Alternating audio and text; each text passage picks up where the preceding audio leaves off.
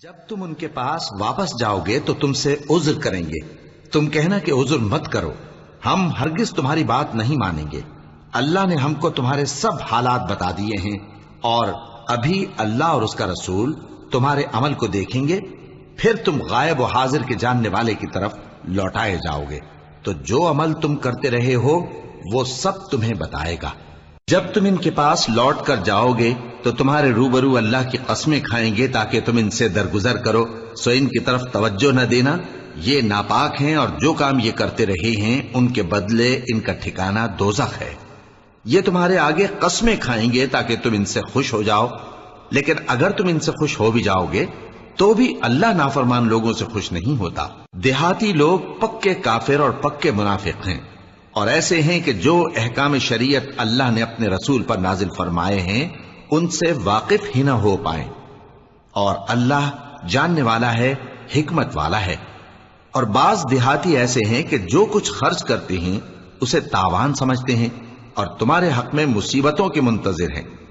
उन्हीं पर बुरी मुसीबत वाक़ हो और अल्लाह सुनने वाला है। जानने वाला है। और बाज देहाती ऐसे हैं कि अल्लाह पर और रोज आखिर पर ईमान रखते हैं और जो कुछ खर्च करते हैं, उसको अल्लाह के कुर्ब और पैगंबर की दुआओं का ज़रिया समझते हैं। देखो, ये बात बिला शुबा इनके लिए मूजिब कुर्ब है। अल्लाह इनको अनकरीब अपनी रहमत में दाखिल करेगा।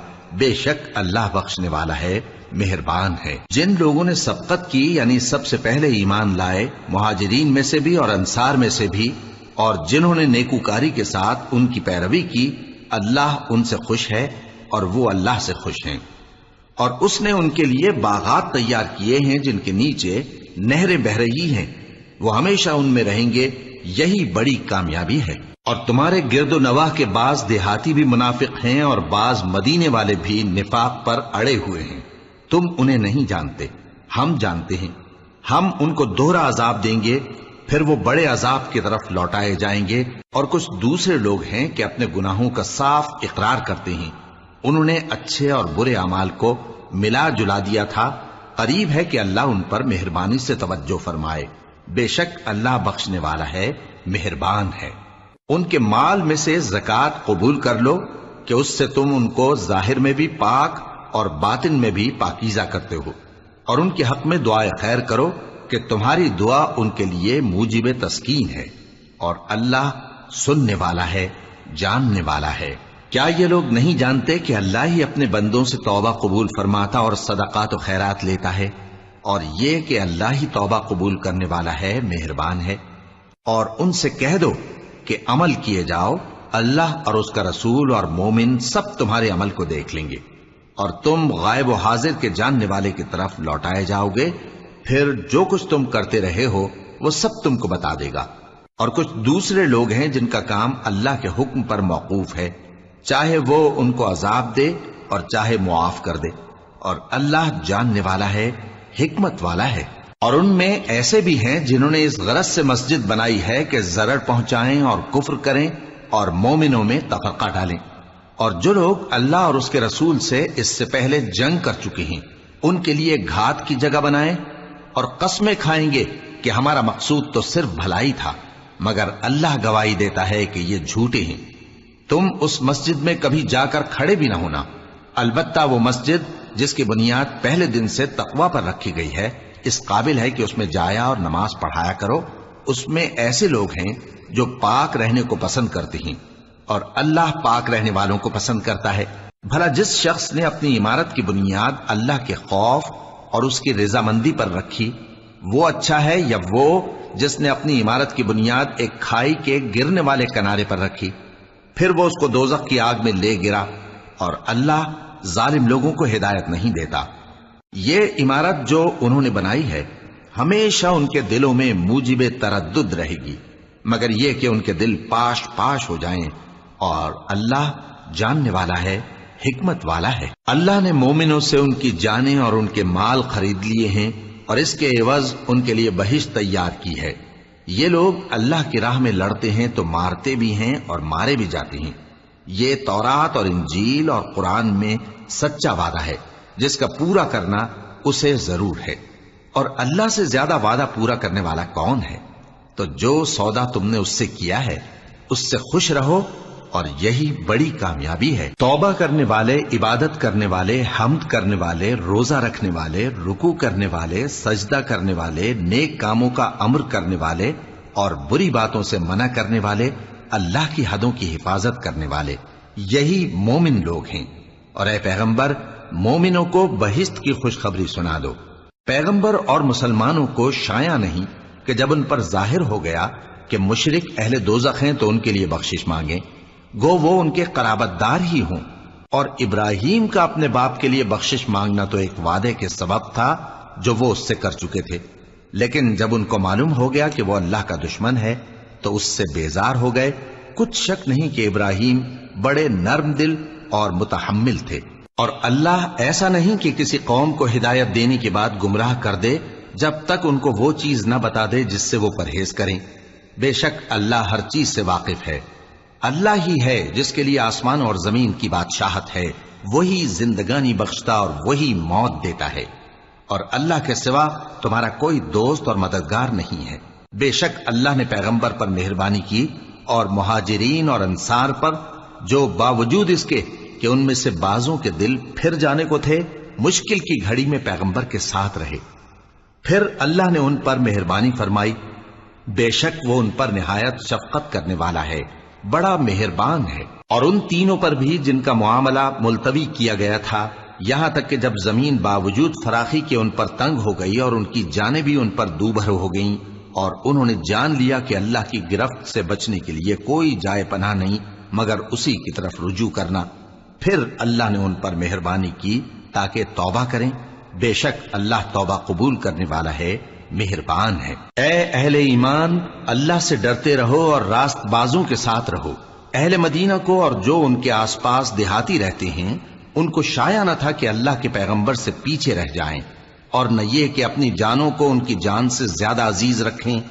ये इसलिए कि उन्हें अल्लाह की राह में जो तकलीफ़ पहुँचती है, प्यास की या मेहनत की या भूख की, या वो ऐसी जगह चलते हैं कि काफिरों को गुस्सा आए या दुश्मनों से कोई चीज़ लेते हैं तो हर बात पर उनके लिए अमल नेक लिखा जाता है।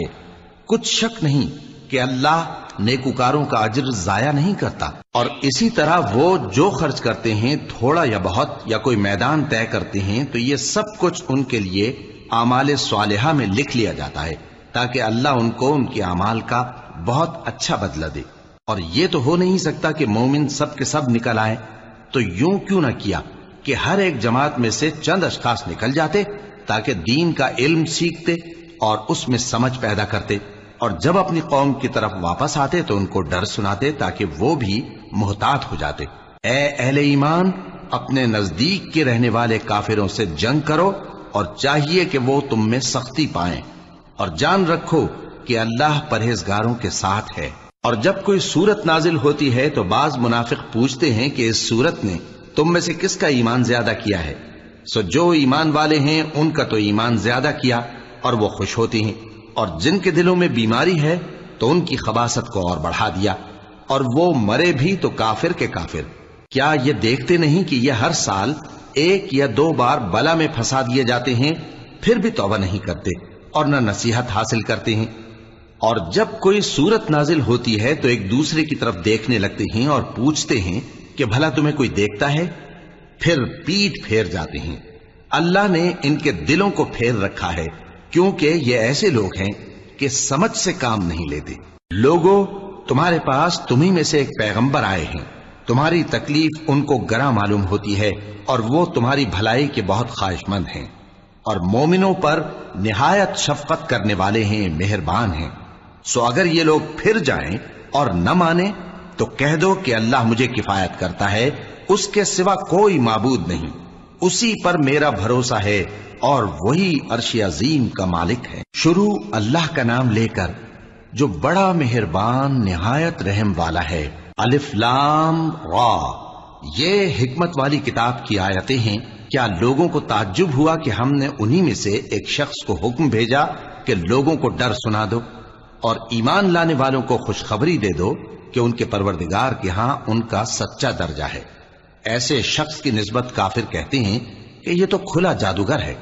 तुम्हारा परवरदिगार तो अल्लाह ही है, जिसने आसमान और ज़मीन छह दिन में बनाए, फिर अर्श पर जलवा अफरोज हुआ। वही हर एक काम का इंतज़ाम करता है।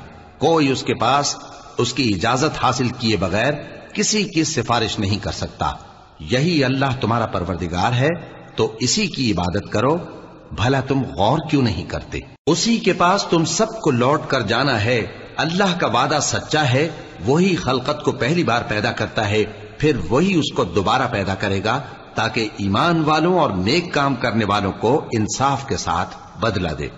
और जो काफिर हैं, उनके लिए पीने को निहायत खोलता पानी और दर्द देने वाला अजाब होगा, क्योंकि वो कुफ्र करते थे। वही तो है जिसने सूरज को खूब रोशन और चाँद को भी मुनव्वर बनाया और चाँद की मंजिलें मुकर्र की, ताकि तुम बरसों का शुमार और कामों का हिसाब मालूम करो। ये सब कुछ अल्लाह ने तदबीर से पैदा किया है।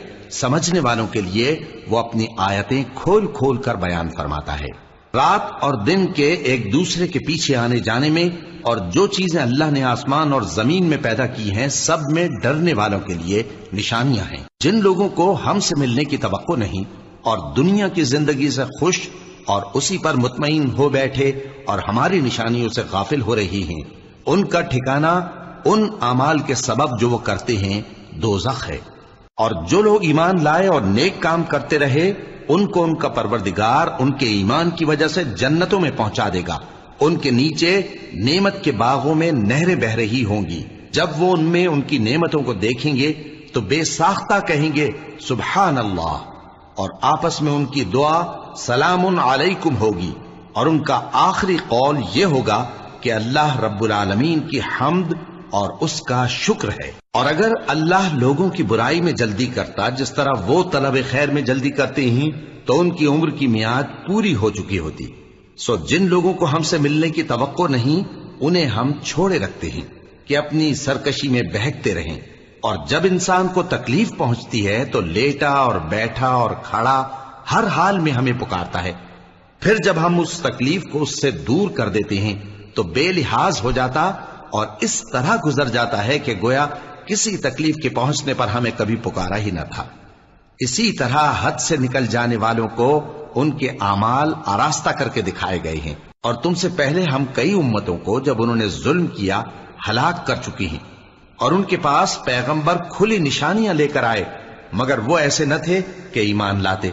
हम गुनाहगारों को इसी तरह बदला दिया करते हैं। फिर हमने उनके बाद तुम लोगों को मुल्क में खलीफा बनाया ताकि देखें कि तुम कैसे काम करते हो। और जब उनको हमारी आयतें पढ़कर सुनाई जाती हैं तो जिन लोगों को हमसे मिलने की उम्मीद नहीं, वो कहते हैं कि या तो इसके सिवा कोई और कुरान बना लाओ, या इसको बदल दो। कह दो कि मुझको इख्तियार नहीं है कि इसे अपनी तरफ़ से बदल दूँ। मैं तो उसी हुक्म का ताबे हूँ, जो मेरी तरफ़ आता है। अगर मैं अपने परवरदिगार की नाफरमानी करूँ तो मुझे बड़े सख्त दिन के अजाब से खौफ आता है। यह भी कह दो कि अगर अल्लाह चाहता तो न मैं ही ये किताब तुमको पढ़कर सुनाता और न वही तुम्हें इससे वाकिफ करता। बस मैं इससे पहले तुम में एक उम्र रहा हूँ, और कभी एक जुमला भी इस तरह का नहीं कहा, भला तुम समझते नहीं?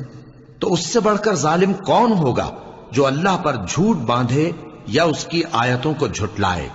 बेशक गुनहगार फलाह नहीं पाएँगे। और ये लोग अल्लाह के सिवा ऐसी चीज़ों की परस्तिश करते हैं जो न इनका कुछ बिगाड़ ही सकती हैं और न कुछ भला ही कर सकती हैं। और कहते हैं कि ये अल्लाह के पास हमारी सिफारिश करने वाले हैं। कह दो, क्या तुम अल्लाह को ऐसी चीज़ बताते हो जिसका वजूद उसे न आसमानों में मालूम होता है और न ज़मीन में? वो पाक है और उसकी शान उनके शिरक करने से बहुत बुलंद है। और सब लोग पहले एक ही उम्मत, यानी एक ही मिल्लत पर थे, फिर जुदा जुदा हो गए।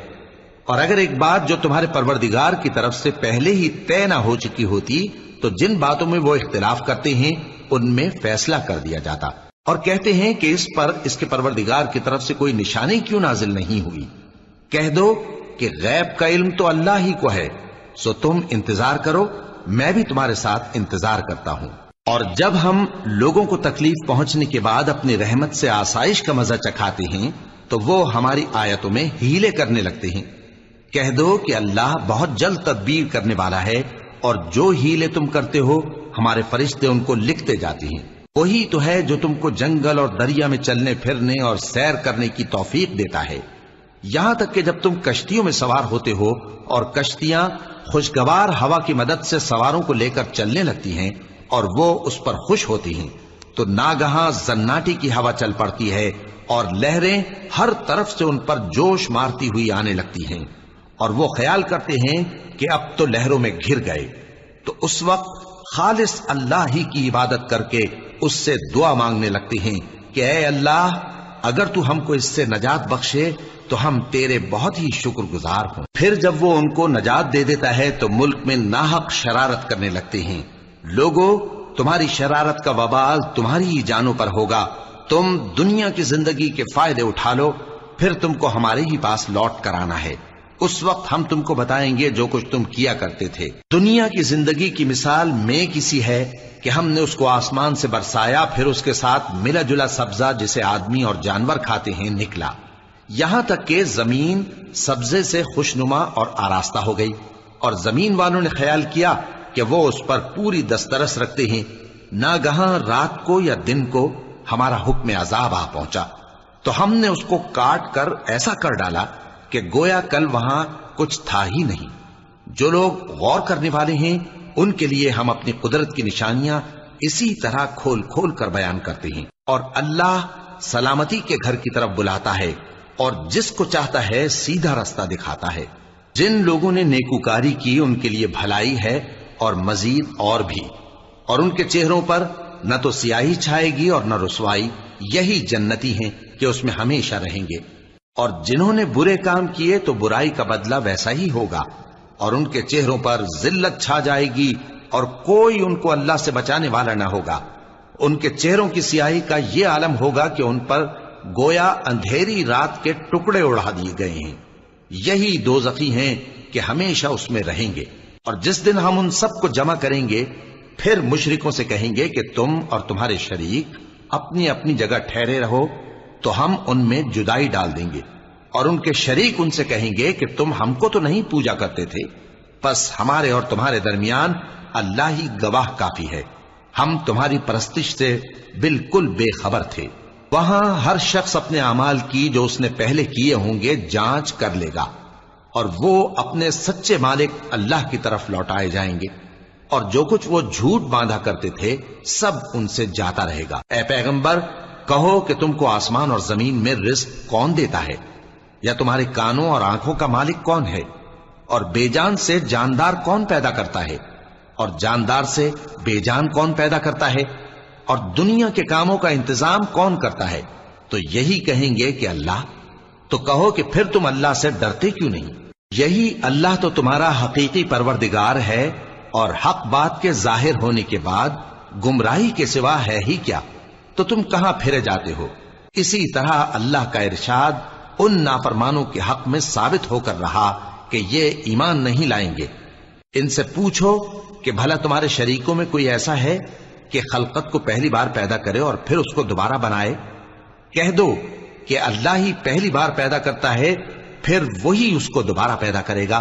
तो तुम कहाँ उल्टे जा रहे हो? पूछो कि भला तुम्हारे शरीकों में कौन ऐसा है कि हक का रास्ता दिखाए? कह दो कि अल्लाह ही हक का रास्ता दिखाता है। भला जो हक का रास्ता दिखाए, वो इस काबिल है कि उसकी पैरवी की जाए या वो कि जब तक कोई उसे रास्ता ना बताए, वो रास्ता ना पाए। तो तुमको क्या हुआ है, कैसा इंसाफ करते हो? और उनमें के अक्सर महज गुमान की पैरवी करते हैं और कुछ शक नहीं कि गुमान हक के मुकाबले में कुछ भी कारामद नहीं हो सकता। बेशक अल्लाह तुम्हारे सब अमाल से वाकिफ है। और यह कुरान ऐसा नहीं कि अल्लाह के सिवा कोई इसको अपनी तरफ़ से बना लाए। हाँ ये अल्लाह का कलाम है, जो किताबें इससे पहले की हैं, उनकी तस्दीक करता है और उन्हीं किताबों की इसमें तफसील है। इसमें कुछ शक नहीं कि ये रब्बुल आलमीन की तरफ़ से नाजिल हुआ है। क्या ये लोग कहते हैं कि पैगंबर ने इसे खुद ही घड़ लिया है? कह दो कि अगर सच्चे हो तो तुम भी इस तरह की एक सूरत बना लाओ और अल्लाह के सिवा जिनको तुम बुला सको, बुला भी लो। हकीकत यह है कि जिस चीज़ के इल्म पर यह काबू नहीं पा सके, उसको नादानी से झुटला दिया। और अभी इसकी हकीकत इन पर खुली ही नहीं। इसी तरह जो लोग इनसे पहले थे, उन्होंने झुटलाया था। सो देख लो कि जालिमों का कैसा अंजाम हुआ। और इनमें से कुछ तो ऐसे हैं कि इस पर ईमान ले आते हैं और कुछ ऐसे हैं कि ईमान नहीं लाते। और तुम्हारा परवरदिगार शरीरों से खूब वाकिफ है। और अगर ये तुम्हारी तकजीब करें तो कह दो कि मुझको मेरे अमाल का बदला मिलेगा और तुमको तुम्हारे अमाल का। तुम मेरे अमाल के जवाब दे नहीं हो और मैं तुम्हारे अमाल का जवाब दे नहीं हूँ। और इनमें बाज ऐसे हैं कि तुम्हारी तरफ़ कान लगाते हैं। तो क्या तुम बहरों को सुनाओगे? अगरचे कुछ भी सुनते समझते ना हो और बाज ऐसे हैं कि तुम्हारी तरफ़ देखते हैं तो क्या तुम अंधों को रास्ता दिखाओगे? अगरचे कुछ भी देखते भालते ना हो। अल्लाह तो लोगों पर जरा भी जुल्म नहीं करता, लेकिन लोग खुद ही अपने आप पर जुल्म करते हैं। और जिस दिन अल्लाह उनको जमा करेगा तो वो दुनिया की निस्बत ऐसा ख्याल करेंगे कि गोया वहाँ घड़ी भर दिन से ज़्यादा रहे ही नहीं थे, और आपस में एक दूसरे को शनाख्त भी करेंगे। जिन लोगों ने अल्लाह के रूबरू हाजिर होने को झुटलाया, वो खसारे में पड़ गए और राहयाब न हुए। और ए पैगंबर, अगर हम कोई अजाब जिसका इन लोगों से वादा करते हैं, तुम्हारी आँखों के सामने नाजिल करें, या उस वक्त जब हम तुम्हें उठा लें, बहरहाल उनको हमारे ही पास लौट कर आना है। फिर जो कुछ ये कर रहे हैं, अल्लाह उसको देख रहा है। और हर एक उम्मत की तरफ़ पैगंबर भेजा गया, फिर जब उनका पैगंबर आ जाता है तो उनमें इंसाफ के साथ फैसला कर दिया जाता है। और उन पर जुल्म नहीं किया जाता। और ये कहते हैं कि अगर तुम सच्चे हो तो जिस अजाब का ये वादा है, वो आएगा कब? कह दो कि मैं तो अपने नुकसान और फ़ायदे का भी कुछ इख्तियार नहीं रखता, मगर जो अल्लाह चाहे। हर एक उम्मत के लिए मौत का एक वक्त मुकर्र है। जब वो वक्त आ जाता है तो एक घड़ी भी देर नहीं कर सकते और न जल्दी कर सकते हैं। कह दो कि भला देखो तो अगर उसका अजाब तुम पर नागहा आ जाए रात को या दिन को तो फिर गुनागार किस बात की जल्दी करती हैं? क्या जब वो आ वाक़ होगा, तब उस पर ईमान लाओगे? उस वक्त कहा जाएगा, क्या अब ईमान लाए? और इसी के लिए तो तुम जल्दी मचाया करते थे। फिर जालिम लोगों से कहा जाएगा कि अजाब दायमी का मज़ा चखो। अब तुम उन्हीं अमाल का बदला पाओगे जो दुनिया में करते रहे। और ए नबी, तुमसे दरियाफ्त करते हैं कि आया ये सच है? कह दो, हाँ, मेरे रब की कसम ये सच है। और तुम भाग कर अल्लाह को आजिज नहीं कर सकोगे। और अगर हर एक नाफरमान शख्स के पास रूए ज़मीन की तमाम चीज़ें हों तो वो अजाब से बचने के बदले में सब दे डाले। और जब वो अजाब को देखेंगे तो पछताएँगे और नदामत को छुपाएँगे, और उनमें इंसाफ के साथ फैसला कर दिया जाएगा, और उन पर जुल्म नहीं होगा। सुन रखो कि जो कुछ आसमानों और ज़मीन में है, सब अल्लाह ही का है। सुन रखो कि अल्लाह का वादा सच्चा है लेकिन अक्सर लोग नहीं जानते। वही जान बख्शता और वही मौत देता है।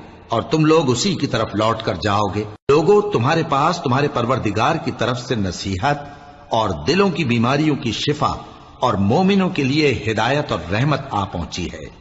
कह दो कि ये किताब अल्लाह के फजल और उसकी मेहरबानी से नाजिल हुई है। तो चाहिए कि लोग इससे खुश हों। ये उससे कहीं बेहतर है जो वो जमा करते हैं। कहो कि भला देखो तो अल्लाह ने तुम्हारे लिए जो रिस्क नाजिल फरमाया तो तुमने उसमें से बास को हराम ठहराया और बास को हलाल। उनसे पूछो, क्या अल्लाह ने तुम्हें इसका हुक्म दिया है? या तुम अल्लाह पर झूठ बांधते हो? और जो लोग अल्लाह पर झूठ बांधते हैं, वो कयामत के दिन की नस्बत क्या ख्याल रखते हैं? बेशक अल्लाह लोगों पर मेहरबान है, लेकिन अक्सर लोग शुक्र नहीं करते। और तुम जिस हाल में होते हो या कुरान में से कुछ पढ़ते हो या तुम लोग कोई और काम करते हो, जब उसमें मसरूफ होते हो तो हम तुम्हारे पास होते हैं।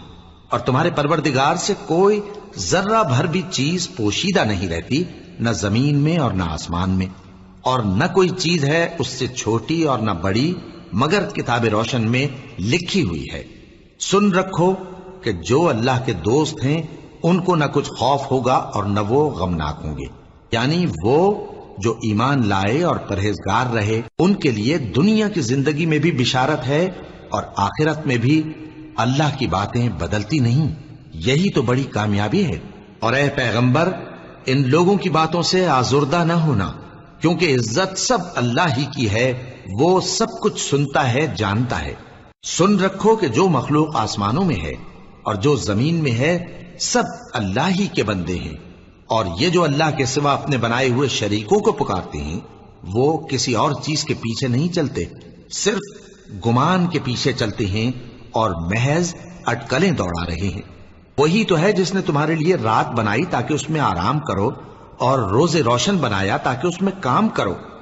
जो लोग कुत समात रखते हैं, उनके लिए इसमें निशानियाँ हैं। बाज लोग कहते हैं कि अल्लाह ने बेटा बना लिया है उसकी जात औलाद से पाक है, वो तो बेनियाज है। जो कुछ आसमानों में और जो कुछ ज़मीन में है, सब उसी का है। ए इफ्तरा परदाजो, तुम्हारे पास इस कौल बातिल की कोई दलील नहीं है। क्या तुम अल्लाह की नस्बत ऐसी बात कहते हो जो जानते नहीं? कह दो कि जो लोग अल्लाह पर झूठ बांधते हैं फला नहीं पाएँगे। उनके लिए जो फ़ायदे हैं, दुनिया में ही हैं। फिर उनको हमारी ही तरफ़ लौट कर आना है उस वक्त हम उनको अजाब शदीद के मज़े चखाएँगे, क्योंकि वो कुफर की बातें किया करते थे। और इनको नूह का किस्सा पढ़कर सुना दो। जब उन्होंने अपनी कौम से कहा कि अः कौम, अगर तुमको मेरा अपने दरमियान रहना और अल्लाह की आयतों से नसीहत करना नागवार हो तो मैं तो अल्लाह पर भरोसा रखता हूँ। तुम अपने शरीकों के साथ मिलकर एक काम, जो मेरे बारे में करना चाहो मुकर्र कर लो। और वो तुम्हारी तमाम जमात को मालूम हो जाए और किसी से पोशीदा न रहे। फिर वो काम मेरे खिलाफ कर गुजरो और मुझे मोहलत न दो। अब अगर तुमने मुँह फेर लिया तो तुम जानते हो कि मैंने तुमसे कुछ मुआवजा नहीं मांगा। मेरा मुआवजा तो अल्लाह के जिम्मे है, और मुझे हुक्म हुआ है कि मैं फर्मा बरदारों में रहूँ। फिर उन लोगों ने उनकी तकजीब की तो हमने उनको और जो लोग उनके साथ कश्ती में सवार थे, सबको तूफ़ान से बचा लिया और उन्हें ज़मीन में खलीफा बना दिया। और जिन लोगों ने हमारी आयतों को झुटलाया, उनको गर्क कर दिया। तो देख लो कि जो लोग डराए गए थे, उनका कैसा अंजाम हुआ। फिर नूह के बाद हमने और पैगंबर अपनी अपनी कौम की तरफ़ भेजे तो वो उनके पास खुली निशानियाँ लेकर आए। मगर वो लोग ऐसे न थे कि जिस चीज़ को पहले झुटला चुके थे, उस पर ईमान ले आते। इसी तरह हम ज्यादती करने वालों के दिलों पर मोहर लगा देते हैं। फिर उनके बाद हमने मूसा और हारून को अपनी निशानियाँ देकर फिरौन और उसके सरदारों के पास भेजा। तो उन्होंने तकबर किया। और वो गुनाहगार लोग थे। तो जब उनके पास हमारे यहाँ से हक आया तो कहने लगे कि ये तो खुला जादू है। मूसा ने कहा, क्या तुम हक के बारे में जब वो तुम्हारे पास आया, ये कहते हो कि ये जादू है? हालाँकि जादूगर फला नहीं पानी के। वो बोले, क्या तुम हमारे पास इसलिए आए हो कि जिस राह पर हम अपने बाप दादा को पाते रहे हैं, उससे हमको फेर दो और इस मुल्क में तुम दोनों ही की सरदारी हो जाए। और हम तुम पर ईमान लाने वाले नहीं हैं। और फिरौन ने हुक्म दिया कि सब कामिल फन जादूगरों को हमारे पास ले आओ। चुनाचे, जब जादूगर आए तो मूसा ने उनसे कहा कि जो तुमको डालना हो डालो। फिर जब उन्होंने अपनी रस्सियों और लाठियों को डाला तो मूसा ने कहा कि जो चीज़ें तुम बनाकर लाए हो, जादू है। अल्लाह इसको अभी नीस्त नाबूद कर देगा। अल्लाह शरीरों के काम संवारा नहीं करता, और अल्लाह अपने हुक्म से सच को सच ही कर देगा। अगरचे गुनाहगार बुरा ही माने तो मूसा पर कोई ईमान न लाया, मगर उसकी कौम में से चंद लड़के और वो भी फिरौन और उसके अहले दरबार से डरते डरते कि कहीं वो उनको आफत में ना फंसा दे। और फिरौन मुल्क में मुतकबिर था और किब्र कुफ्र में हद से बढ़ा हुआ था।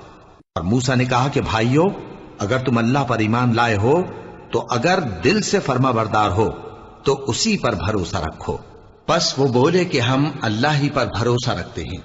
ऐ हमारे परवरदिगार, हमको जालिम लोगों के हाथ से आजमाइश में न डाल और अपनी रहमत से हमें कौम कुफ्फार से नजात बख्श। और हमने मूसा और उसके भाई की तरफ़ वही भेजी कि अपने लोगों के लिए मिस्र में घर बनाओ और अपने घरों को किबला यानी मस्जिदें ठहराओ और नमाज़ कायम करते रहो और मोमिनों को खुशखबरी सुना दो। और मूसा ने कहा कि अः हमारे परवरदिगार तूने फिरौन और उसके सरदारों को दुनिया की ज़िंदगी में बारौनक साजो सामान और मालो जर दे रखा है। ए परवरदिगार, क्या इसीलिए कि वो तेरे रस्ते से गुमराह कर दें? ए परवरदिगार, इनके माल को बर्बाद कर दे और इनके दिलों को सख्त कर दे कि ईमान न लाएँ, जब तक अजाब अलीम न देख लें।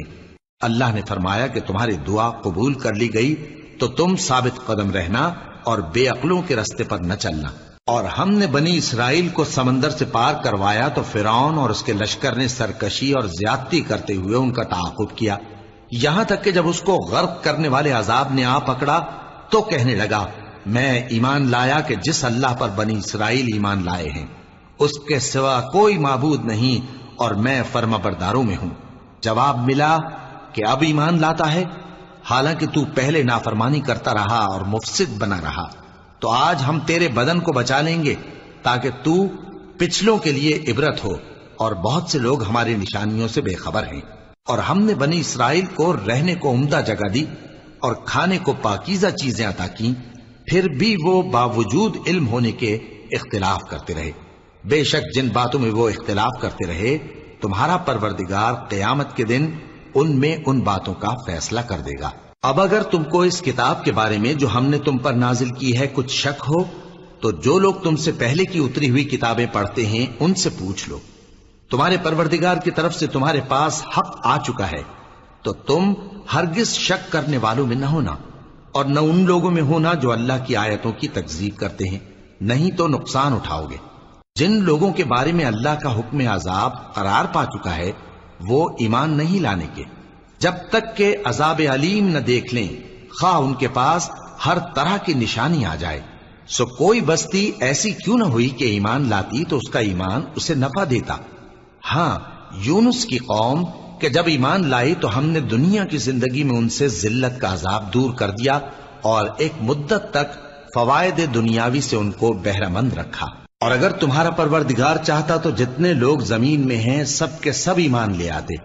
तो क्या तुम लोगों पर ज़बरदस्ती करना चाहते हो कि वो मोमिन हो जाएँ? हालाँकि किसी शख्स को कुदरत नहीं है कि अल्लाह के हुक्म के बगैर ईमान लाए। और जो लोग बेअक्ल हैं, उन पर वो कुफर जिल्लत की नजासत डालता है। इन कुफ्फार से कहो कि देखो तो आसमानों और ज़मीन में क्या क्या कुछ है। और जो लोग ईमान नहीं रखते, निशानियाँ और डराने वाले उनके कुछ काम नहीं आते। सो जैसे बुरे दिन इनसे पहले लोगों पर गुजर चुके हैं, इसी तरह के दिनों के ये मुंतजिर हैं। कह दो कि तुम भी इंतज़ार करो, मैं भी तुम्हारे साथ इंतज़ार करता हूँ। फिर हम अपने पैगंबरों को और मोमिनों को नजात देते रहे हैं। उसी तरह हमारा जिम्मा है कि मुसलमानों को भी नजात दें। ए पैगंबर, कह दो कि लोगों, अगर तुमको मेरे दीन में किसी तरह का शक हो तो सुन रखो कि जिन लोगों की तुम अल्लाह के सिवा इबादत करते हो, मैं उनकी इबादत नहीं करता। लेकिन मैं उस अल्लाह की इबादत करता हूँ जो तुम्हारी रूहें कब्ज कर लेता है, और मुझको यही हुक्म हुआ है कि ईमान लाने वालों में हो जाऊँ। और यह कि ए नबी, सबसे यकसू होकर दीन इस्लाम की पैरवी किए जाओ, और मुशरिकों में हरगिज ना होना। और अल्लाह को छोड़कर ऐसी चीज़ को न पुकारना जो न तुम्हारा कुछ भला कर सके और न कुछ बिगाड़ सके। अब अगर ऐसा करोगे तो जालिमों में हो जाओगे। और अगर अल्लाह तुमको कोई तकलीफ़ पहुँचाए तो उसके सिवा उसका कोई दूर करने वाला नहीं। और अगर तुमसे भलाई करनी चाहे तो उसके फजल को कोई रोकने वाला नहीं। वो अपने बंदों में से जिसे चाहता है, फ़ायदा पहुंचाता है, और वो बख्शने वाला है, मेहरबान है। कह दो कि लोगों तुम्हारे परवरदिगार के हाथ से तुम्हारे पास हक आ चुका है। तो जो कोई हिदायत हासिल करता है तो हिदायत से अपने ही हक में भलाई करता है, और जो गुमराही इख्तियार करता है तो गुमराही से अपना ही नुकसान करता है। और मैं तुम्हारा वकील नहीं हूँ, और अः पैगंबर, तुमको जो हुक्म भेजा जाता है, उसकी पैरवी किए जाओ और तकलीफों पर सब्र करो। यहाँ तक कि अल्लाह फैसला कर दे, और वो सबसे बेहतर फैसला करने वाला है। शुरू अल्लाह का नाम लेकर, जो बड़ा मेहरबान, निहायत रहम वाला है। अलिफ लाम रा। ये वो किताब है जिसकी आयतें जची तुली हैं। फिर ये कि अल्लाह हकीम व खबीर नाजिल करने वाले की तरफ़ से बतफसील बयान की गई हैं। उसका पैगाम यह है कि अल्लाह के सिवा किसी की इबादत न करो और मैं उसकी तरफ़ से तुमको डर सुनाने वाला और खुशखबरी देने वाला हूँ। और यह कि अपने परवरदिगार से बख्शिश मांगो और उसके आगे तौबा करो, वो तुमको एक वक्त मुकर्र तक मताए नेक से बहरामंद करेगा और हर लायक फजीलत को उसकी फजीलत देगा। और अगर रूगरदानी करोगे तो मुझे तुम्हारे बारे में कयामत के बड़े दिन के अजाब का डर है। तुम सबको अल्लाह की तरफ़ लौट कर जाना है, और वो हर चीज़ पर कादिर है। देखो, ये अपने सीनों को दोहरा करते हैं ताकि अल्लाह से छुप जाएँ। सुन रखो, जिस वक्त ये अपने कपड़ों में लिपट रहे होते हैं, तब भी वो इनकी छुपी और खुली बातों को जानता है। वो तो दिलों की बातों तक से आगा है।